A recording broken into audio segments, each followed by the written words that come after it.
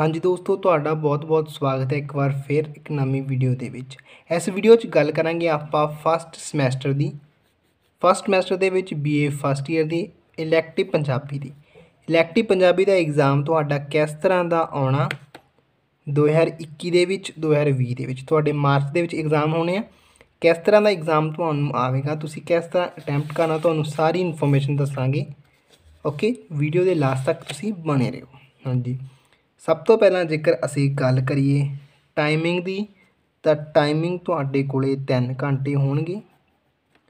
2020 21 ਦੀ ਗੱਲ ਕਰ ਰਹੇ ਹਾਂ। ਬੀਏ ਫਸਟ ਦੀ ਬੀਐਸਸੀ ਫਸਟ ਦੀ। ਠੀਕ ਹੈ? ਮਾਰਕਸ ਤੁਹਾਡੇ ਨਾਲ ਮੈਕਸਿਮਮ 19 ਨੇ ਤੇ ਟੋਟਲ 100 ਨੇ।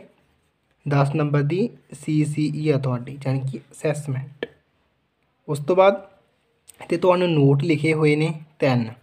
ਪਹਿਲਾ ਨੋਟ ਹੈ, ਲਿਖਾਈ ਸਾਫ਼ ਅਤੇ ਸ਼ੁੱਧ ਹੋਣੀ ਚਾਹੀਦੀ ਹੈ।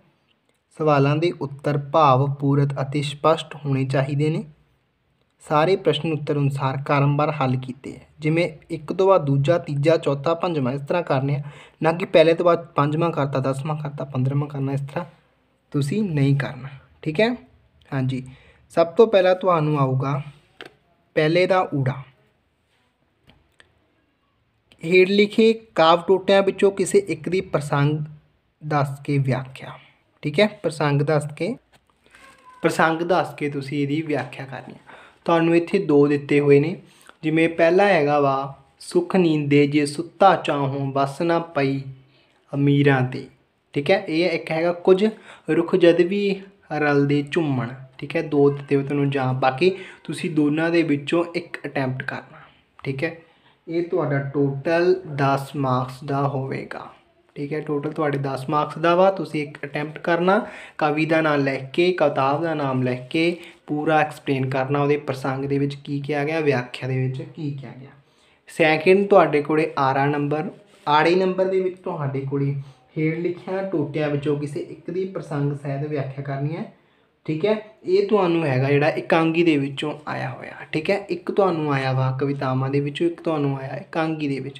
ਇਕਾਂਗੀ ਦੇ ਵਿੱਚ ਵੀ ਜਿਹੜੇ ਦੋ ਦਿੱਤੇ ਹੋਏ ਆ, ਦੋਨਾਂ ਦੇ ਵਿੱਚੋਂ ਤੁਸੀਂ ਇੱਕ ਦੀ ਪ੍ਰਸੰਗ ਸਹਿਤ ਵਿਆਖਿਆ ਕਰਨੀ ਹੈ। ਇਹ ਵੀ ਤੁਹਾਡੇ ਕੋਲ 10 ਮਾਰਕਸ ਦਾ। ਹੁਣ ਤੁਹਾਡੇ 10 10 ਫੀ ਮਾਰਕਸ ਇੱਥੇ ਪੂਰੇ ਹੋ ਜਾਂਦੇ ਆ। ਹਾਂਜੀ, ਅੱਗੇ ਆਪਾਂ ਗੱਲ ਕਰਾਂਗੇ। ਹਾਂਜੀ, ਅੱਗੇ ਆਪਾਂ ਗੱਲ ਕਰਾਂਗੇ ਕਿਸੇ ਇੱਕ ਕਵਿਤਾ ਦਾ ਵਿਸ਼ਾ ਵਸਤੂ। ਹੁਣ ਇਹਦੇ ਵਿੱਚ ਤੁਸੀਂ ਇੱਕ ਕਵਿਤਾ ਦਾ ਵਿਸ਼ਾ ਵਸਤੂ ਲਿਖਣਾ ਠੀਕ ਹੈ? ਜਿਵੇਂ ਹਲ ਵਾਉਣ ਵਾਲੇ ਨੂੰ ਪ੍ਰੋਫੈਸਰ ਪੂਰਨ ਸਿੰਘ ਜਾਂ ਫੈਸਲਾ। ਇਹ 'ਚ ਜਿਹੜਾ ਤੁਹਾਨੂੰ ਇੰਪੋਰਟੈਂਟ ਤੇ ਵਧੀਆ ਲੱਗਦਾ, ਉਹ ਤੁਸੀਂ ਲਿਖਣਾ। ਉਸ ਤੋਂ ਬਾਅਦ ਆ ਗਿਆ ਦੂਸਰਾ, ਤਾਸ਼ ਦੀ ਬਾਜੀ ਦਾ ਕਵਿਤਾ ਦਾ ਵਿਸ਼ਾ ਵਸਤੂ 10 ਮਾਰਕਸ ਦਾ ਅੰਨੇ ਅੰਨੇ ਕਹਾਣੀ ਕਾਂਗੀ ਦੀ ਸਾਹਿਤਕ ਆਲੋਚਨਾ।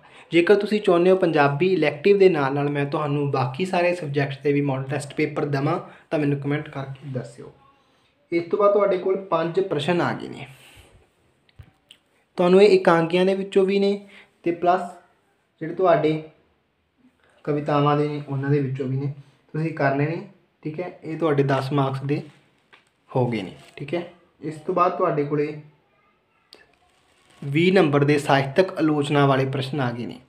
ਇਹ ਵੀ ਤੁਸੀਂ ਅਟੈਂਪਟ ਕਰਨੇ ਆ ਤੁਹਾਡੇ 20 ਮਾਰਕਸ ਲਾਸਟ ਵਨ ਤੁਹਾਡੇ ਕੋਲੇ ਪੇਪਰ ਦੇ ਵਿੱਚ ਬਚਿਆ।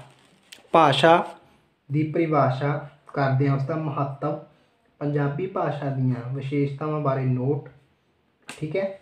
ਮੈਂ ਤੁਹਾਨੂੰ ਇੱਥੇ ਲੈ ਕੇ ਦੇ ਦੇਣਾ ਆ ਦੋਨੇ ਪ੍ਰਸ਼ਨ ਮੋਸਟ ਐਕਸਪੈਕਟਡ ਨੇ, ਜੇ ਦੇਖੋ ਦੋਨੇ ਤਿਆਰ ਕਰ ਲਏ ਦੋਨਾਂ ਦੇ ਵਿੱਚੋਂ ਇੱਕ ਪੱਕਾ ਤੁਹਾਨੂੰ 2021 ਦੇ ਵਿੱਚ ਆਊਗਾ। ਟੋਟਲ ਪੱਕਾ। ਠੀਕ ਹੈ, ਇਸ ਕਰਕੇ ਤਿਆਰ ਕਰ ਲਓ। ਇਸ ਤੋਂ ਬਾਅਦ ਲਾਸਟ ਵਾਲਾ ਸਾਡੇ ਕੋਲੇ ਹੈਗਾ ਵਾ, ਕਿਸੇ ਇੱਕ ਦੀ ਪਰਿਭਾਸ਼ਾ ਕਰਦੇ ਤੱਤਾਂ ਬਾਰੇ ਲਿਖੋ। ਜਾਂ ਤੁਸੀਂ ਗਜ਼ਲ ਬਾਰੇ ਲਿਖਣਾ ਜਾਂ ਨਾਵਲ। ਮੇਰੇ ਹਿਸਾਬ ਨਾਲ ਤੁਹਾਨੂੰ ਨਾਵਲ ਬਾਰੇ ਲਿਖਣਾ ਚਾਹੀਦਾ, ਕਿਉਂਕਿ ਨਾਵਲ ਮੋਸਟ ਐਕਸਪੈਕਟਡ ਆ, ਇਹ ਆਉਂਦਾ ਰਹਿੰਦਾ ਪੇਪਰ ਦੇ ਵਿੱਚ, ਠੀਕ ਹੈ? ਲਾਸਟ ਈਅਰ ਵੀ ਇਹੀ ਆਇਆ ਸੀ, ਇਸ ਕਰਕੇ ਤੁਸੀਂ ਨਾਵਲ ਦੀ ਤਿਆਰੀ ਜ਼ਰੂਰ ਕਰਿਓ। ਇਹ ਸੀ ਤੁਹਾਡਾ ਇਲੈਕਟਿਵ ਪੰਜਾਬੀ ਦਾ ਪੇਪਰ, ਠੀਕ ਹੈ? ਅਟੈਂਪਟ ਕਰੋ। ਆਪਣੇ ਦੋਸਤਾਂ ਨਾਲ ਸ਼ੇਅਰ ਕਰੋ ਵੀਡੀਓ ਨੂੰ ਧੰਨਵਾਦ।